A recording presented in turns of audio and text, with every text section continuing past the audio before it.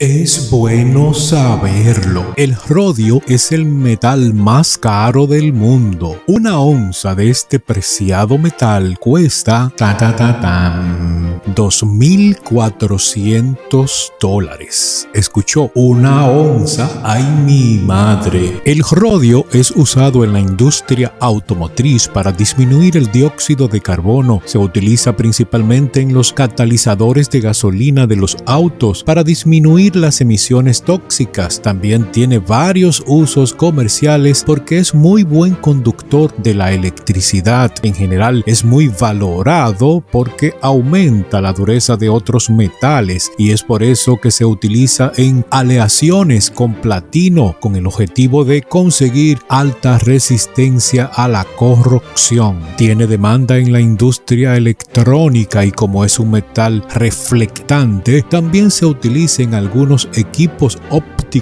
y ciertos tipos de espejos. En la joyería se usan ínfimas cantidades para aumentar la resistencia del oro y darle una apariencia más brillante. Como dato curioso, Sudáfrica es el mayor productor de rodio en el mundo. Dime una cosa, ¿tú lo sabías? Tan tan tan tan.